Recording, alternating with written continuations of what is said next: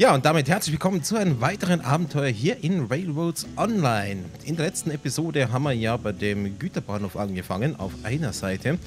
Und ich dachte, wir bringen jetzt mal diesen Güterzug, wo wir hier diese Kohle eingeladen haben, einmal zu dem neuen Güterbahnhof runter und schauen, ob die Gleisabstände zu diesem äh, Güterumschlagplatz äh, passen. Die Lok ist soweit vorbereitet und ich würde sagen, wir fahren mal los. Und dann hoffe ich mal, dass das passt mit dem Abstand. Södre, Abfahrt. Bitte komm, alles mit, das wäre super. Bremsen müssten gelöst sein. Oh, jetzt höre ich auch zum ersten Mal das neue Dampfgeräusch von der Lok. Das klingt ja mal richtig schön. Wesentlich besser als der alte Sound.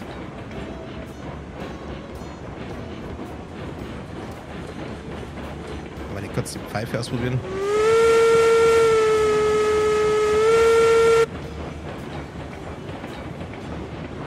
Ist aber, glaube ich, noch ein bisschen gemischt mit dem alten.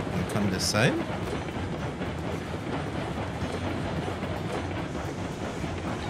Aber trotzdem, wirklich schöner Sound. Sind halt immer noch zu groß für diese Lok. Doch, gefällt mir.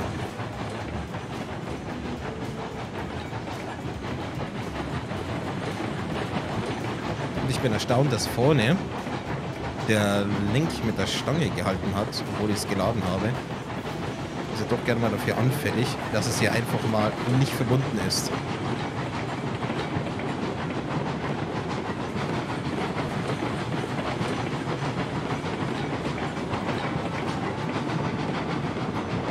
Sehr geil, gefällt mir. Ja, und zwischen der letzten Episode und dieser Episode habe ich auch noch ein bisschen gebaut. Und auf das bin ich ziemlich stolz äh, wie das Ergebnis geworden ist. Das werden wir dann gleich sehen. Das ist nämlich ebenfalls beim neuen Güterbahnhof. Ich hoffe, das wird euch gefallen.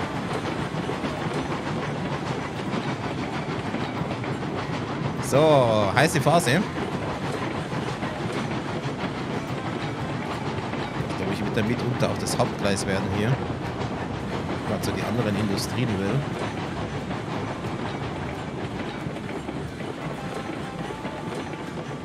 Sehr gut.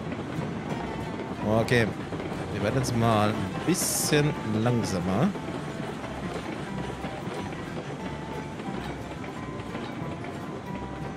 Nicht, dass wir hier gleich noch einen Unfall haben.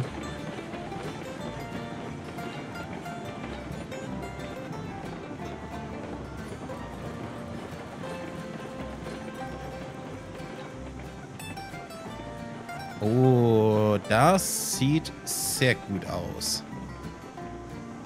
Kommen wir hier mal ganz komplett rein.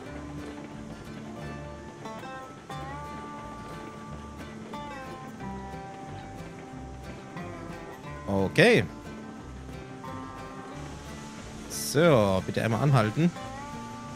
Hey, das ist ja perfekt hier mit der Clearance. So muss das Ganze doch sein.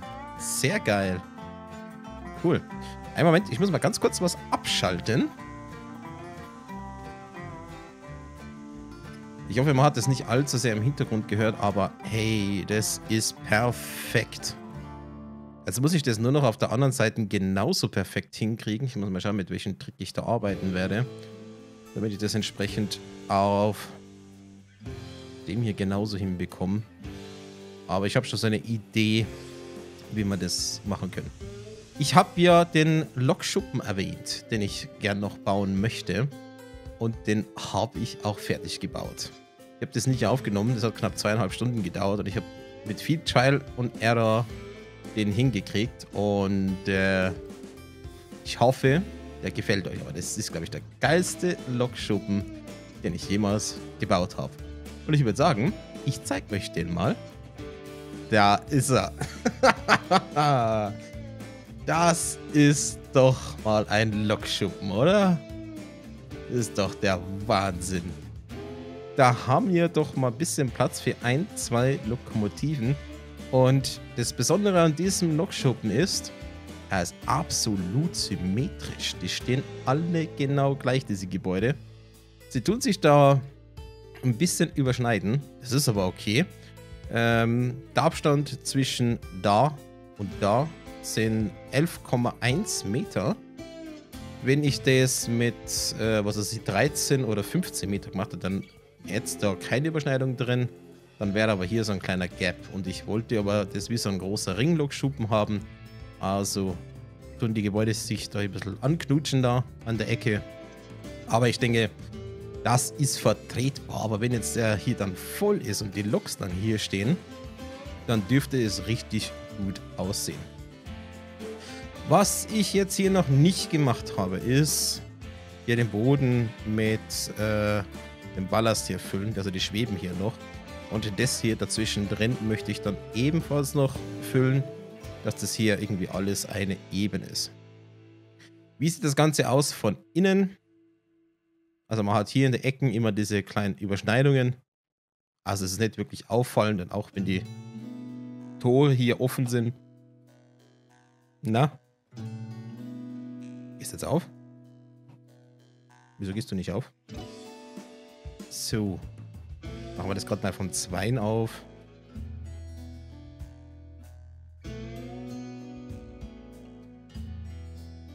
So. Dann passt das eigentlich auch recht gut mit den Türen. Also gerade die zwei.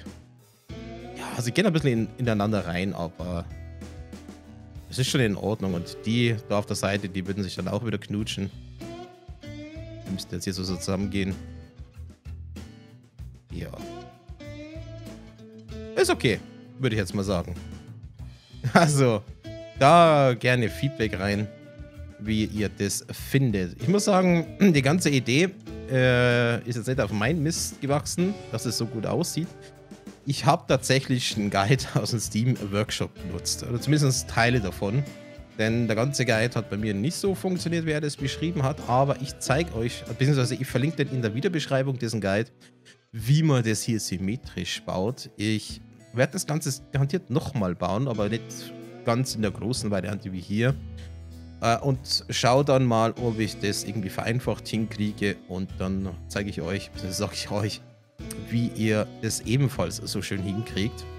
Aber der Guide an sich funktioniert, aber es ist halt mühsam. Also rechnet damit, dass wenn ihr das so bauen möchtet, also sicherlich mal so zwei bis drei Stunden dran seid, denn also ich habe mehrere Anläufe gebraucht dass das so funktioniert hat. Denn basically macht man sich hier wie so einen Grid raus und dann muss man mit Abständen äh, arbeiten und bisschen ausrechnen und dann mit Augenmaß da die, die Einstellungen prüfen und schauen, dass es auch wirklich passt. Und wenn man dann kleine Fehler drin hat, dann zieht sich das durch das ganze Grid durch und dann sieht es scheiße aus. Und den Fehler habe ich halt eben mal gehabt, dass ich nicht ganz genau gearbeitet habe und dann erst beim zweiten Mal hat es dann funktioniert.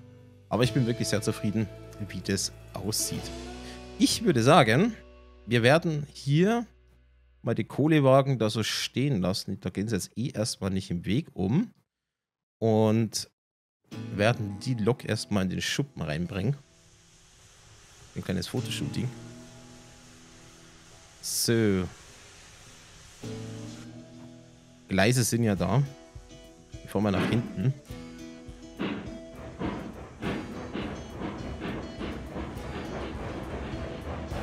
Und ich hatte ja noch die Idee, dass ich da vielleicht noch so ein kleines Depot beim Sägewerk mache. Ich glaube, wir werden das Depot da vielleicht weglassen oder vielleicht nur so ein kleines Häuschen irgendwie hinstellen. Mit einer, einer einzigen Drehscheibe. Denn dieser Ringlockschuppen ist einfach gigantisch. Und dann sagt man halt, okay, äh, alle Loks sind immer hier im Hauptdepot. Auch wenn wir dann Multiplayer starten. Die Spieler, gerade wenn sie neu dazukommen, starten ja dann hier. Können sich dann hier die Lok aussuchen, holen sich dann hier die Wagen, wenn sie dann hier mal alle dastehen und fahren dann ihre Aufträge. So ungefähr die Idee. Also wie wenn die auf der Karte irgendwo verteilt sind. Was aber vielleicht noch Sinn machen würde, ist, dass wenn wir hier noch eine zweite Drehscheibe irgendwo platzieren, dass man nicht jedes Mal in den Lokschuppen rein muss.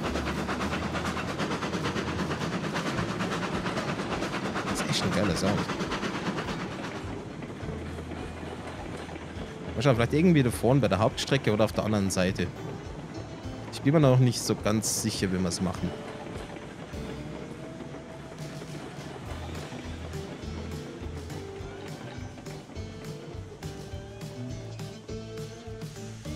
Okay. Bitte die Weiche einmal umlegen. Dankeschön. Und einmal retour. Ich hoffe, die Weichen passen. Ich habe es jetzt gar nicht geprüft.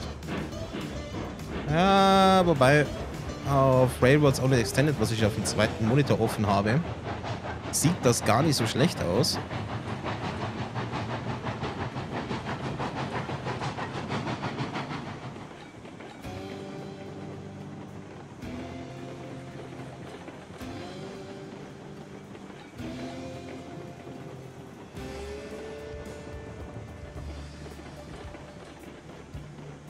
So, und jetzt hier aber nicht so schnell reinfahren, denn man kann hier nicht durchfahren. Das passt von der Orientierung her nicht. Äh, was? Oh. Das wäre jetzt fast in der Tragödie geendet. Gott sei Dank bist du da jetzt abgesprungen. Ah, bisschen noch. Ah, ein Stück noch. So, jetzt aber. So, lauf auf die Drehscheibe.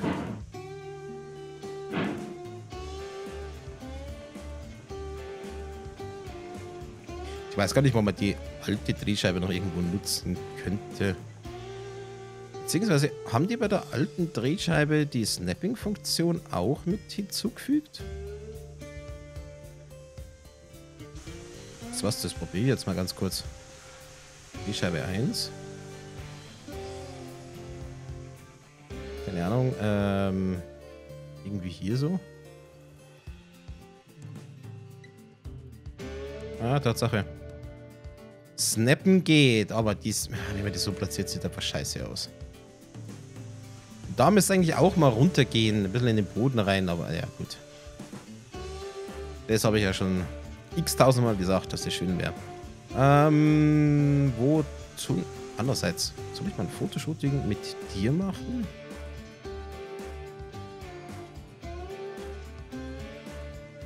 Ja, machen wir irgendwie so mal. Foto. F12. Skill George, Dankeschön. Wo stellen wir dich jetzt rein? Ich würde sagen, E-Card hier rein. Dann müssen wir da nicht allzu viel drehen.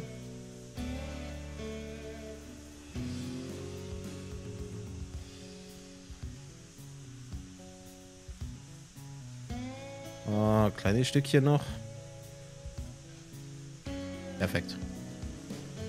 So, alles offen, bereit und reinfahren.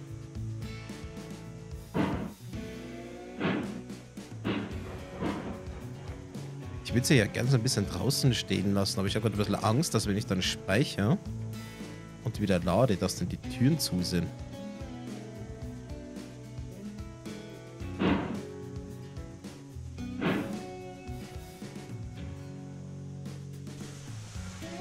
Also eben, dass er zum Beispiel so draußen steht.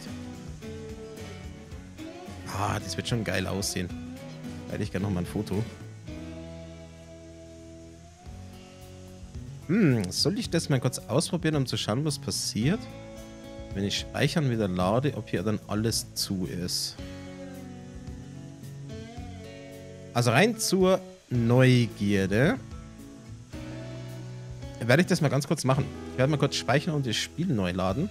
Und dann schauen wir mal, was passiert. Also, bis gleich. Ja, das Spiel ist wieder geladen und findet den Fehler. Das mit den Türen hat leider nicht geklappt. Die gehen alle zu. Also bleibt die Lok hier nicht draußen stehen, sondern fahren wir hier ganz rein. Schön wäre es aber gewesen. Also, einmal reinfahren. Dann ist sie verstaut.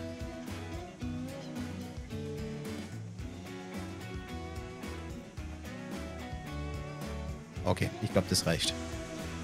So, Handbremse anziehen. Bisschen Luft nach hinten hätte es noch. Aber das passt. Okay. Ähm, nächstes Projekt, beziehungsweise das Projekt erstmal hier fertig machen, ist den richtigen Gleisabstand zu der anderen Seite zu finden. Und jetzt habe ich halt da einen Fehler drin. Jetzt stehen halt die Wagen hier drin. Jetzt kann ich hier kein Gleis rausnehmen. Ähm, hm, hm, hm, hm, hm. Dann gehen wir halt einfach auf die andere Seite.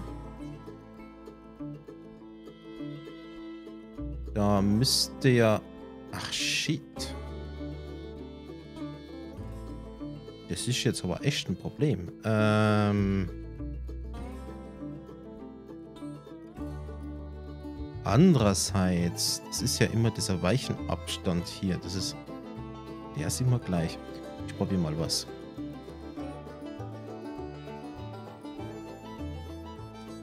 Wenn ich jetzt hier mit Weichen arbeite, Weiche rechts.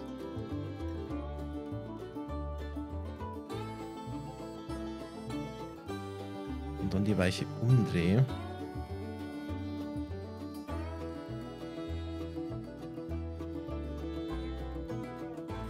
Kann es sein, dass ich jetzt hier nicht ganz gerade bin?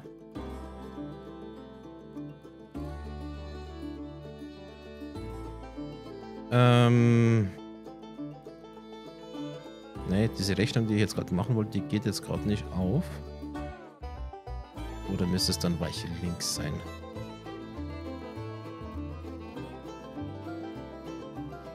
Weiche links. Hä? Stimmt ja. Das ging ja von den Weichen da hinten aus. Ah, nö. Ich habe einen Denkfehler. Okay, dann machen wir es anders. Ich probiere erstmal die Methode da. Schauen, wie das mit dem Abstand wäre.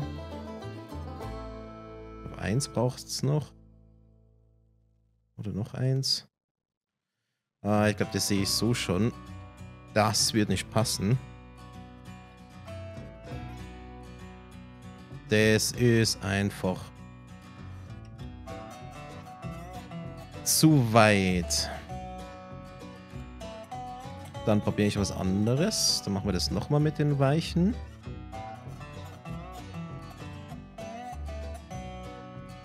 Ähm, Weich... Ah, Moment. Weiche links. Und dann Weiche rechts.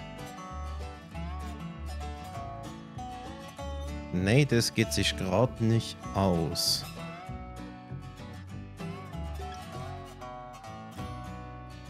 Was ist, wenn ich das Ganze eins weitermache? Halt. Äh, weiche links. Und dann weiche rechts.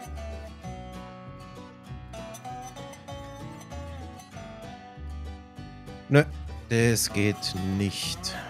Okay, da passt es auch nicht. Und es dürfte auch keinen Unterschied machen, wenn ich das jetzt mehrmals mache. Ah, shit. Gut, probieren geht über studieren. Welche rechts? Welche links? Und wenn ich dann noch mal rüberfahren würde... Ah, das werde ich jetzt aber hier nicht. Ach, mein Spiel.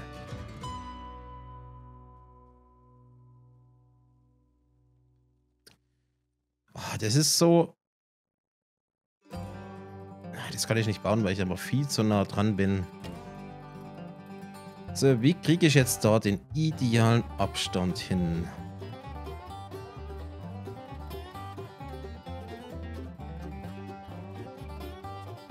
Gut, wir könnten das aber auch umgekehrt machen.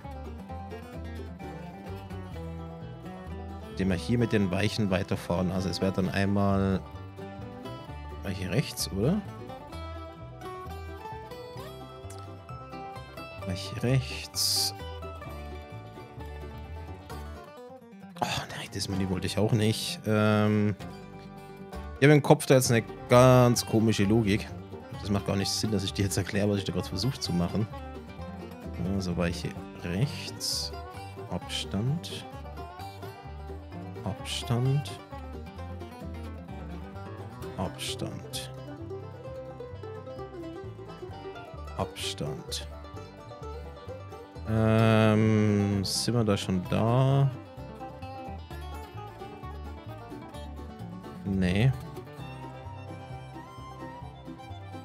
Das nochmal.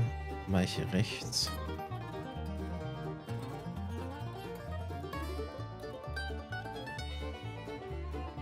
Okay, machen jetzt hier mal ein X hin.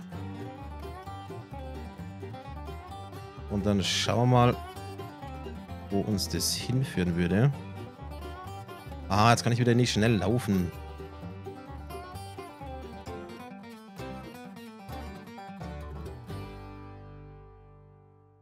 Ein Moment, ich gebe mir das mal schnell in Extended.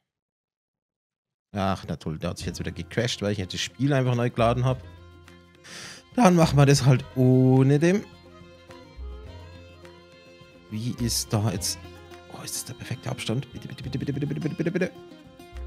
Oh, yes. Yes, yes, yes, yes. Das hat funktioniert. Cool.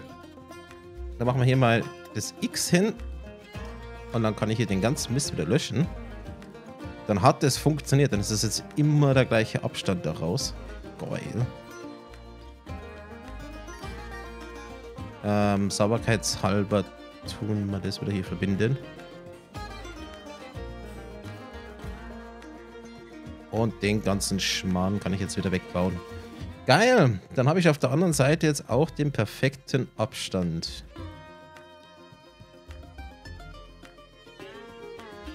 Ist schlimm, wenn man so langsam geht. Wir brauchen eine Sprintfunktion. Und das Schöne ist, auf der anderen Seite ist natürlich das Gleis jetzt genau gleich hoch wie hier die anderen. Nice, nice, nice, nice. Challenge wird dann sein, das Ganze auf der anderen Seite alles wieder irgendwie schön zusammenzukriegen. Und wir könnten eigentlich eine Drehscheibe hier reinsetzen in die Mitte. Ja, natürlich noch geil gewesen, hätte man hier eine Connection gehabt. Von da. Wisst ihr was? Diese Abstellung könnte man eigentlich komplett knicken. Und machen dafür hier eine Verbindung zu einer Drehscheibe und die gleiche Verbindung von dem Gleis aus auf diese Drehscheibe hin, weil dann kann man hier noch wechseln. Aber macht es Sinn, dass wir das von diesem Gleis aus haben, um hier die Entladung machen? Hm. Ganz so blöd wäre die Idee, glaube ich, nicht.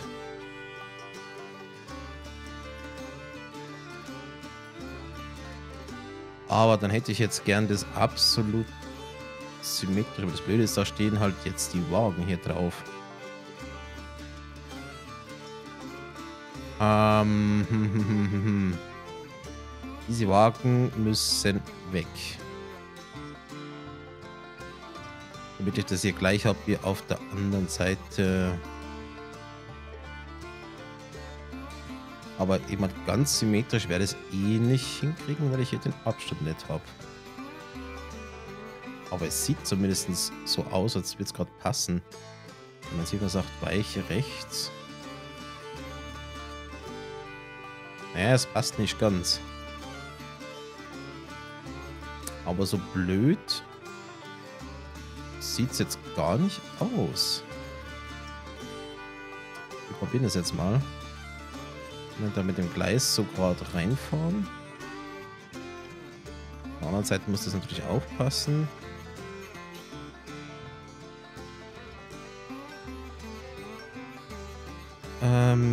das heißt, die Weiche müsste ich jetzt mal hier löschen. Das müsste eigentlich gehen.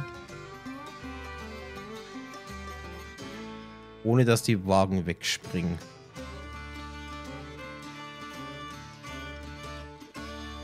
Okay, und wenn ich jetzt hier geradeaus weiterfahre, dann müssten sich die Gleise ja irgendwo hier mal treffen. Wo wir dann die Drehscheibe hin platzieren könnten. Ja, sie kommt zusammen.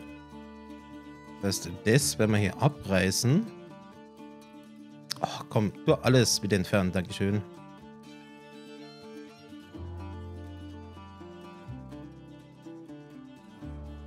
Jetzt dachte ich schon, hä, warum ist jetzt hier noch eine Weiche da? ähm, hier noch ein bisschen hinfahren. Jetzt ist es ein bisschen Try and Error. Gleisbau, Turntable. Dürfen da natürlich mit da hinten nicht knutschen. Und jetzt? Mal schauen. Ach, das geht sich da mit dem Winkel. Ja, wir müssten noch ein bisschen weiter nach hinten.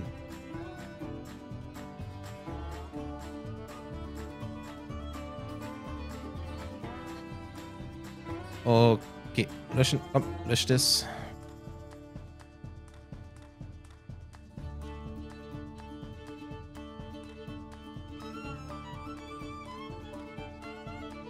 Okay, da haben wir noch ganz gut Luft.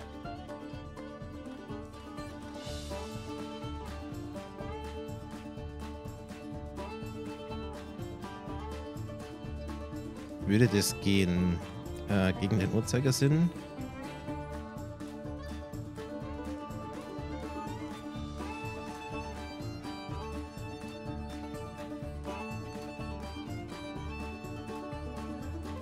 Nicht so schnell! Warum bist du auf einmal so schnell? Hör auf damit. Ruf. Zurück. Bestimmt wegen dem Baum, den ich jetzt hier nicht abgefällt habe.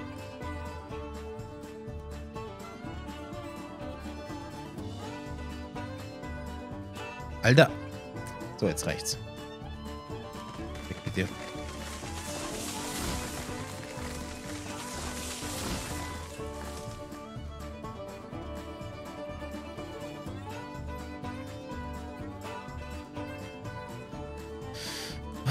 Ich glaube, so oder so geht sich das mit dem Winkel eh nicht ganz aus.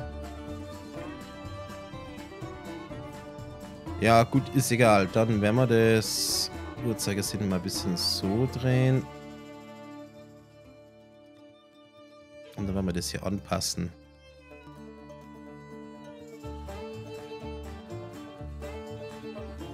Dann ist das halt nicht komplett gerade. So, bitte einmal snappen. Schauen, wie blöd das dann aussieht.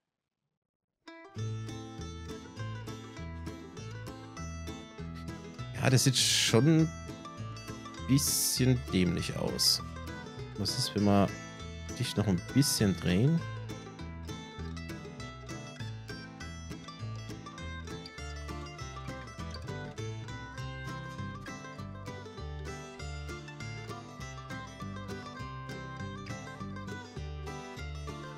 Hm, wird es besser, wenn ich dich noch ein bisschen eindrehe? Ah, wir werden es noch mal ein bisschen drehen.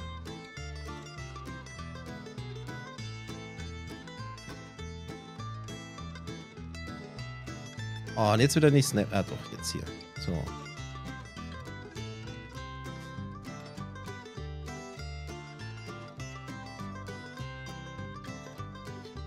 Ach, dieser Schlenker ist mega beschissen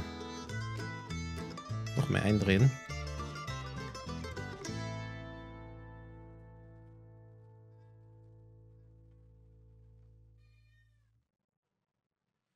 Hallo, snappen, bitte.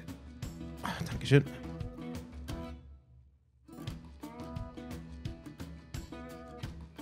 Ja. Doch, langsam wird's. Aber ihr müsst jetzt hier mal weggehen. Vielleicht noch ein ganz klein wenig ein drin. Na, ganz klein wenig. Ah. Spiel. So, ganz klein wenig. Und natürlich Hallo an die Eisenbahn-KC.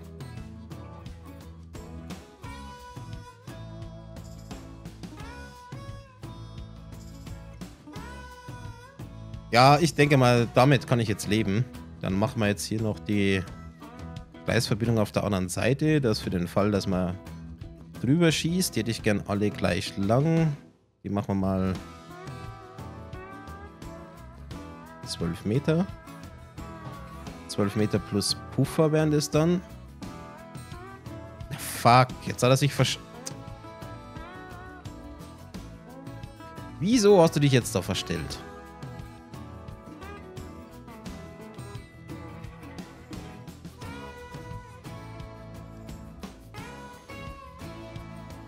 Okay, so passt's.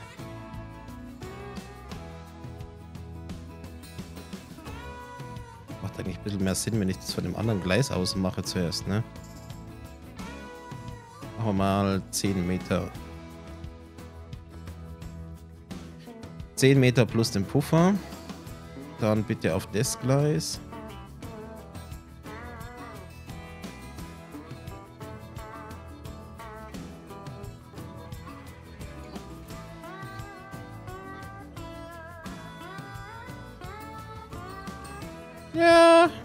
Enough.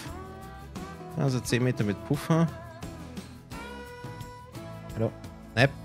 Mach jetzt. Ja, wobei. Das könnte jetzt ein bisschen knapp werden.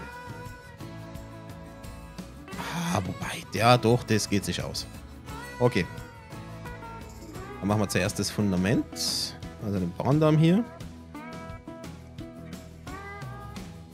Irgendwie so, dass das halbwegs passt.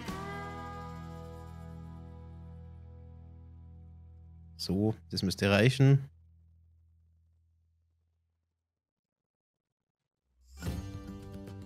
Äh, ja. Das reicht schon. So, Bahndamm. Auch einmal ausrichten hier.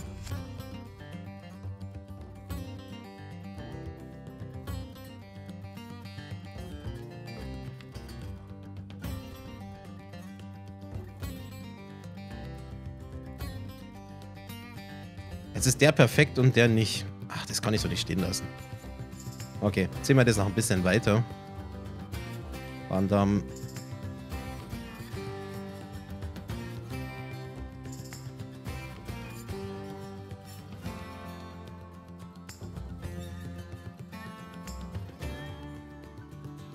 So, bitte schaut gut aus. Naja, nicht ganz mittig, aber es ist jetzt hier abschließend. Das gefällt mir. Söderle, weg mit den Bäumen da. Und dann kommt man hier theoretisch schnell auf die andere Seite. Und beide Seiten haben jetzt eine Drehscheibe. Ja, warum auch nicht. Doppelt hält besser. Ich glaube, eine dritte brauchen wir nicht. Allerhöchstens auf der anderen Seite. Mal schauen, wie der, wie der Plan so aussieht. Aber geil, jetzt haben wir hier den perfekten Abstand. Können wir nach hinten durchziehen.